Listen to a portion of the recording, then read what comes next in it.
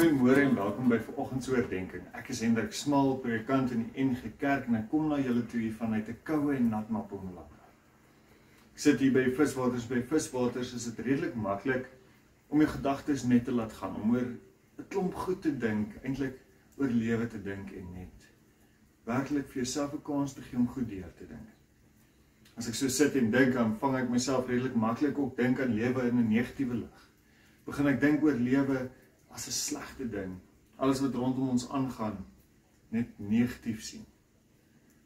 Hoe meer ek kyk na hierdie slegte goed, hoe meer begin ek negatief dink. En hoe meer ek negatief dink, hoe meer dink ek onthou ek al die ander slegte goed. En hoe meer goed ek onthou wat sleg is, hoe meer begin ek negatief dink.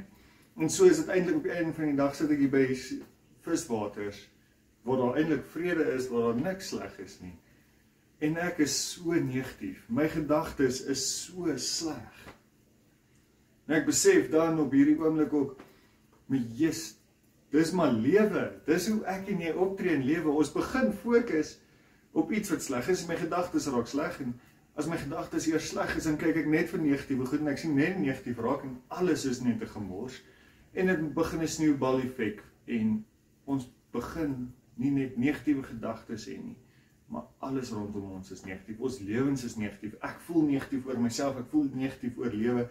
Ek begin negatief voel oor my vriende en my familie net oor dat ek op 'n punt begin negatief dink het en dit was 'n sneeubal effek.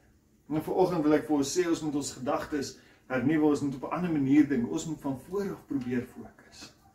Op 'n ander manier begin dink oor goed.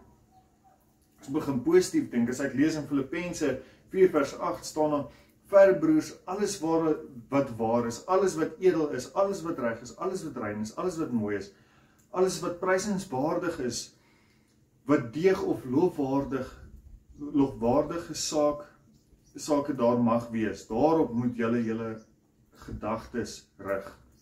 As ek hierdie lees en besef ek toe Paulus hierdie geskryf het, het hy al besef dat wanneer ons ons gedagtes rig op die negatiewe, gaan ons 'n negatiewe uitkyk hê op lewe. Maar wanneer ons ons gedagtes rig op die positiewe, gaan se positiewe uitkyk jy op lewe. Wanneer Paulus hierdie skryf, sê hy eintlik vir ons: begin fokus op dit wat goed is. Begin fokus op dit wat positief is, op die waar, waarheid wat ons in die lewe kry. Begin fokus op die liefde wat ons in die lewe kry. Hoe meer ons fokus op daai goed, hoe meer besef ons dat dit is hoe die lewe lyk.